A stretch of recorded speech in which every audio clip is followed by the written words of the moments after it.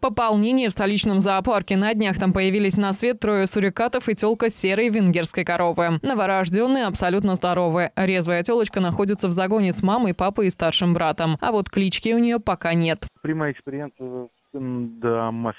Facebook. Впервые мы обратились в Фейсбуке к нашим посетителям, чтобы они помогли нам подобрать имена для наших новорожденных животных. Посетители оказались только за, тем более, что на этот счет существует множество древних традиций.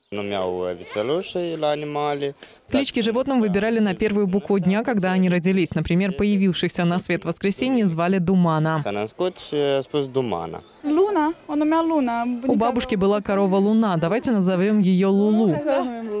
А в семье сурикатов прибавилось сразу три детеныша. В целях безопасности их изолировали вместе с мамой. Научный сотрудник зоопарка Роман Крецу рассказывает, что в семействах сурикатов жесткие внутренние правила, даже опасные для некоторых членов.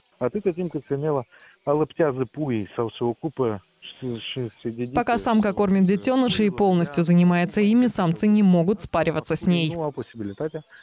Să, să exercite actul reproductiv cu ele. Поэтому в природе детенышам сурикатов грозит смерть от настойчивых самцов. В столичном зоопарке они проведут в изоляции несколько недель.